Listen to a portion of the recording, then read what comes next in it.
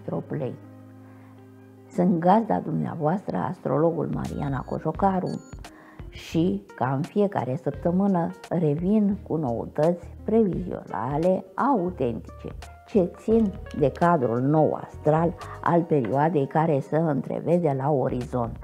După o perioadă, zic eu, destul de grea, din care nu au lipsit chiar din prima zi a lui 2024 uh, aspecte grele, cu tremure, vezi Japonia, uh, cu foarte multe victime, accidente aviatice, iarăși vezi Japonia, sau vezi uh, pilotul nostru care a reușit uh, fabulos să redreseze avionul uh, la aterizare în Anglia. Uh, deci, uh, ai noștri, cred că piloții noștri sunt excepționali. Acum trebuie să ne leudăm cu marfa noastră. Ce? Dacă i auziți pe toți pe Mapamond, în fiecare țară, piloții lor sunt cei mai buni, vă zic eu. Și de aceea o să vă zic că la noi sunt chiar cei cei mai buni. Peste. Așa, deci vă spuneam de uh, tot soiul de evenimente uh, care trebuie luate în calcul. Nu întâmplător am spus de Japonia, pentru că Japonia are Uh, coordonate ce țin de zodia vărsătorului, exact cum uh, este România, doar că acolo există altceva, e o altă structură, eu nu am cum să analizez fiecare țară uh, când omul este interesat de ce îi pregătește universul lui. Da? Dar e bine de menționat pentru că făceam previziuni cum o să vină și o să se întâmple și atunci haideți să confirmăm câteva lucruri. Ați văzut în Japonia la evacuarea avionului în, uh, uh într-un uh, termen uh, rapid. Deci așa ceva uh, au o eficiență și uh, sunt atât de pe fază, sunt pregătiți pentru situații de genul ăsta de urgență extraordinar. Și toți vrem să călătorim, dacă se poate, cât mai în siguranță. Eficiența aia trebuie menționată peste tot pe mapa mond. De ce? Pentru că discutăm de soarele uh, din vărsător, vărsătorul care guvernează și aviația și televiziunea și, dacă vreți, altă dată o să vă zic mai multe. Uh, da, și de uh, tot ce uh, înseamnă uh, aspectele acestea care se produc la nivel macro cu vremea, cu clima, cu seceta, cu uh, lucruri care, într-un fel sau altul, țin de viața noastră și de siguranța noastră. Uh, deci e important acum uh, că mai mult nu pot să intru în detalii, știți și dumneavoastră că uh, mă, centrez pe partea aceasta de zodie om previzional și doar subliniez din când în când evenimentele majore, deși dacă ar fi să fiu eu subiectivă, m-aș ocupa întâi de evenimentele majore și pe urmă de fiecare în parte. Eh, dar clientul nostru este stăpânul nostru. Și atunci ne ocupăm ca atare. Haideți să vedem cadrul astral al săptămânii următoare. Uh, 1. Avem o aliniere de planete învărsător de zile mari. Soare, noroc divin, Mercur și Marte. Oh, oh. Da? 2. Uh, La alinierea menționată anterior adăugăm un stelium cu lună și Pluton, unde credeți domniile voastre tot învărsător, să fie primit da? Și să anunțe numai de bine. Pentru că uh, e o perioadă în care uh, cu toții, datorită presiunii, vremurilor, uh, vremii de afară, uh, avem nevoie de un stimul, da, un stimul pozitiv și nu un stimul care să se vrea un soi de uh, uh, uh, cuțit, ca să nu zic pumnal în spate. Da? Deci vrem numai de acolo să fim planete zvelte, ușoare, tinere și să ne dea și nou, da? Să ne dea ceva din tinerețea asta fără bătrânețe și nu să ne sancționeze pentru că n-am înțeles în tinerețe, nu știu ce, va fi și partea aia, dar sper să fie cât mai blândă. Mie îmi plac mănușile de catifea puse pe mâna de fier.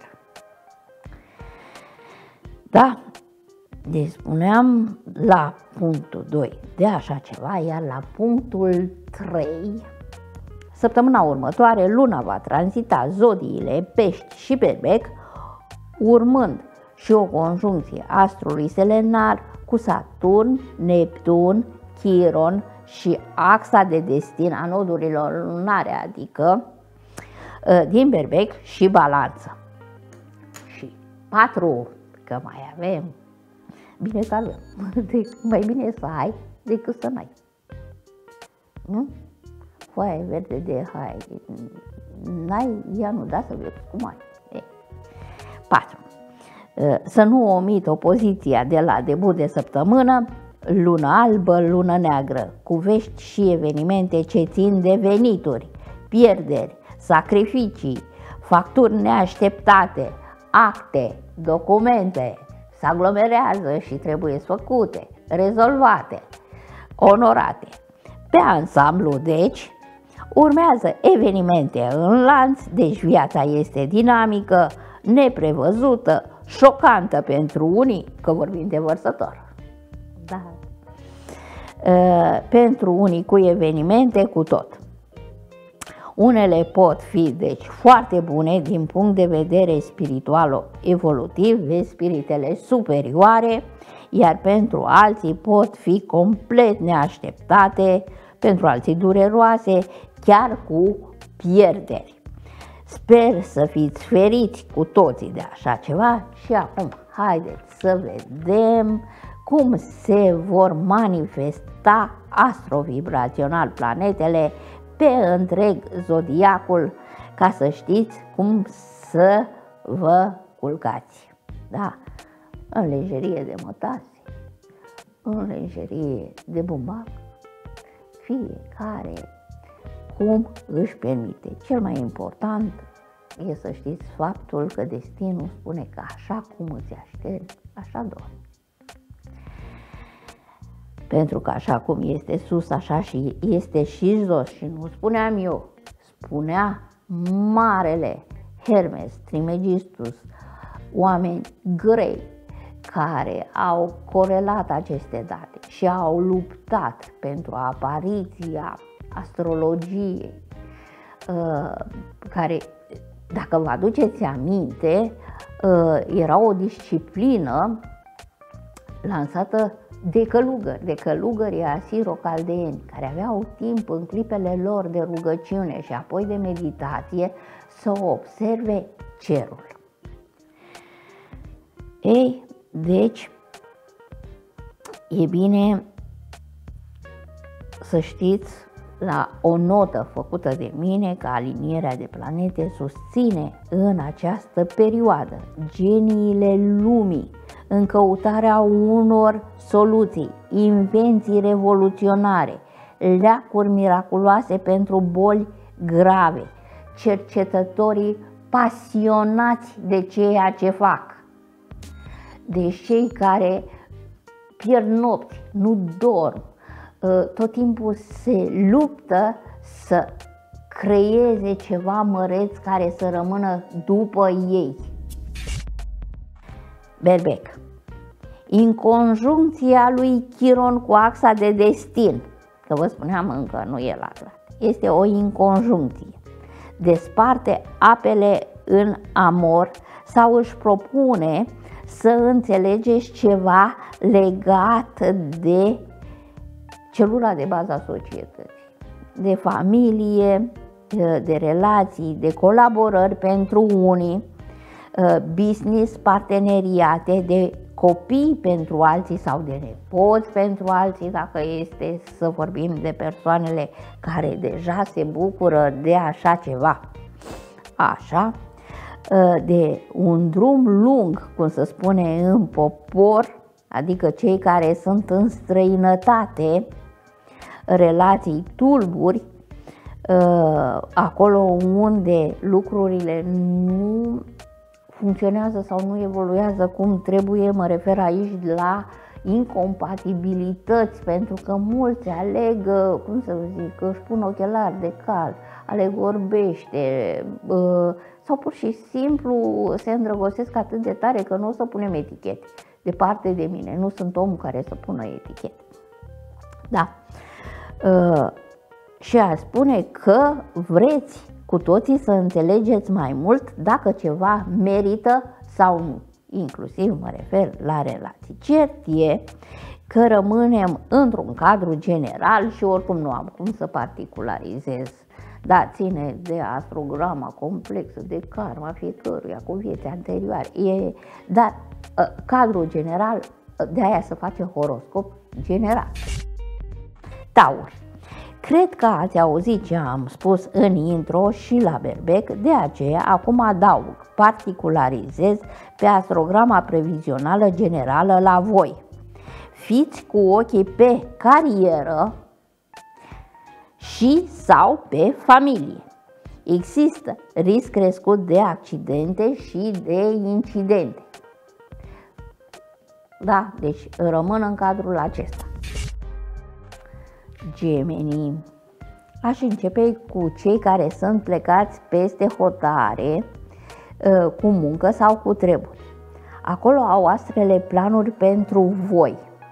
Aș continua cu cei care își caută încă loc sub soare sau își caută, nu știu, ceva dreptate la, autorit- la autorități sau umblă cu jalba în proțap ca să soluționeze ceva. Apoi, un plus de susținere pentru cei care au de susținut examene și mă refer aici la studenți uh, pentru că e o perioadă importantă pentru ei, dar studenții studioși sunt foarte bine susținuți. Uh, sigur că vorbeam de alinierea de planete, de toate alea. Uh, nu vă repeziți Uh, stați uh, și aduceți-vă aminte, uh, susține memoria Mercur în astfel de perioade. Numai asta, atenție, numai asta, că pe urmă vor fi și altfel de perioade. Dar acum există un astfel de suport și mă refer la gemenii clasici și nu la cei atipici. Uh, deci este, cred că, o informație importantă pentru uh, unii dintre domniile voastre. RAC. Cu Venus în Capricorn. Deci vorbim de exaltare. Unora, unora le va exalta, le va tresări, cum se spune, inima. Deci dacă stați bine cu inima, e foarte bine. Da? Pe exaltare. Altora le va tremura cămașa pe ei. Uh, aici aș spune și de bine că e de îndrăgosteală uh, și poate să existe și varianta aia, pentru că aici vă spuneam că numai structura fiecărui om în parte îmi poate delimita lucrurile. Dar eu sper să fie numai partea bună. Eu sper. Așa. Uh, evident, aspecte ce țin de iubire. Extrema cealaltă Ă, așa cum ă, indică aici, spune de faptul că unii pot avea încercări dure în amor, cei mai mulți caută într-un labirint nesigur ceva. Unii chiar un job nou sau o schimbare, o, ceva care să țină de bani, de venituri, de rezolvarea unor chestiuni care trenează, mă rog. Leu alinierea de planete și steliumul din vărsător, ați văzut deja previzionalul de început, anunță agitație maximă pe parteneriate, colaborări și social, pe relații și atmosfera din familie. Sigur se întâmplă ceva și subliniez, da? Fecioară. va trebui să alegeți bobul de neghină. E, de ce e important? În săptămâna ce urmează, pentru că va fi o poziție lună albă cu lună neagră, e a doua perioadă din an în care vi se cere așa ceva și eu o să subliniez, deci trebuia o parte să rezolvați acolo, cum este și curățenia. Da, acolo faci o cameră din coace, să pregătește o altă cameră. Uh, atenție, imunitatea pare să fie foarte scăzută la mulți dintre voi, la voi sau cineva din familie, iar subliniez, pentru că dacă sunteți foarte tineri și aveți uh, o constituție fizică de invidiat, Doamne ajută, uh, aspectul poate să vizeze pe altcineva, lărgind orizontul, extrapolând informația, da? Uh, dar cred că deja v-ați obișnuit cu mine și știți exact cum fac eu previziunile. Balanță. Săptămâna următoare vine cu ceva blocaje karmice pe destin, ce diferă de la o balanță la altă balanță. Alinierea de planete susține creativitatea, pentru că, vedeți, uh, balanța este o zodie de aer. Când vorbeam de aspectele generale, uh, majoritatea planetelor susțin uh, uh, vărsătorul care este zodie de aer ca și balanța. Prin urmare, susține creativitatea, dar și relația cu cei mici, în sensul de protecție, ultraprotecție sau o comunicare mai bună și mai eficientă. Scorpion steliumul din vărsător, din care nu lipsește clar Pluton, îmi arată casa, domiciliu, familia dumneavoastră ca și zonă uh, de orientare previzională. Acolo se vor întâmpla lucruri uh, importante uh, sau grele, cum să spune. Deci trebuie să fiți concentrați și focusați pe așa ceva. Ă, când vorbim de casă, nu înseamnă că trebuie să stați acasă, pentru că acolo e centrat totul și vă uitați numai la telenovele. Ă, demersul meu ă, este cu totul altul. Și cred că ați înțeles descriind până acum ce am vrut să zic, cum e și cum trebuie să-ți aștepți ca să dormi bine, metaforic. Că poate unii înțeleg de aici că trebuie să schimbe lejeria. Uh, deci, dragilor, uh, informațiile sunt foarte subtile și foarte complexe. Uh, ne dorim să zic sau ci în spirit de glumă, pur și simplu, da? Că sigur o schimbăm toți Nigeria, da? Și haideți să trecem să vedem ce, cum arată cadrul astral general al săptămânii următoare și în cazul săgetătorului. Obrazul fiind cu cheltuială să ține. Sau dragostea trece prin stomac. Uh, vizate sunt uh, aspectele pragmatice ale vieții, uh, acolo unde să știe că unii săgetători um, își acordă foarte multă importanță și poate că e bine, deci eu nu stau, fiecare e ca el. În sensul în care obrazul fin înseamnă că vă veți ocupa mai mult de dumneavoastră sau veți investi în dumneavoastră de la look, cum arătați până la, nu știu, ținută, iar alții se vor gândi cum să facă în așa fel încât să aibă o relație cât mai bună cu partenerul de viață, partenera, unde dragostea trece prin stomac. Dacă tu ai cheltuit totul pentru tine și lași zona cealaltă descoperită, nu stau să judec, este numai problema ta. Dacă totul se duce acolo în susținerea familiei, atunci există uh, metode prin care să rezolvați prima parte și altfel. Nu o să vă explic eu acum. Capricorn. Exaltarea lui Venus în constelația voastră ni-l arată pe Cupidon.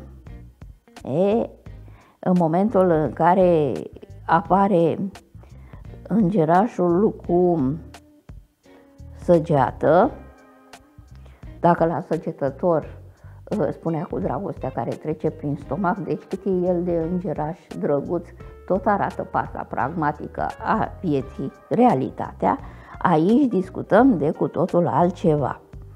Uh, deci, uh, partea aceasta de exaltare emoțională, spuneam că poate să sară cămașa pe voi, da?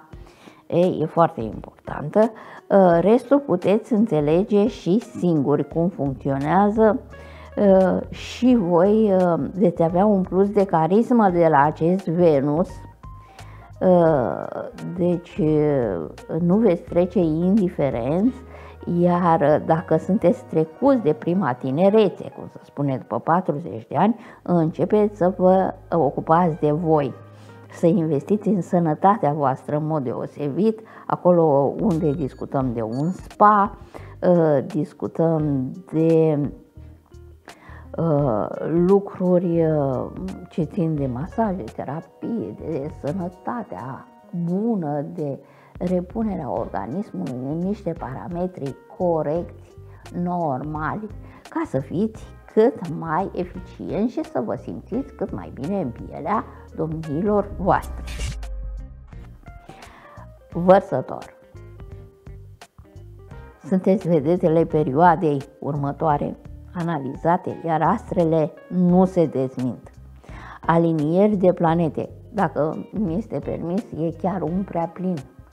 E foarte mult ce se întâmplă în constelația voastră ca și planete, deci este acolo o defilare uh, așa grea uh, și spuneam că există extreme. Ori e de foarte bine, ori ne putem accepta la ceva când e foarte mult, când ești copleșit, când tot sar, da? Atunci poți să nu fie, da?